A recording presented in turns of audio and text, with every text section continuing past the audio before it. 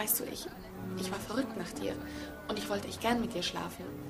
Irgendwann mal, aber nicht gerade mit 15.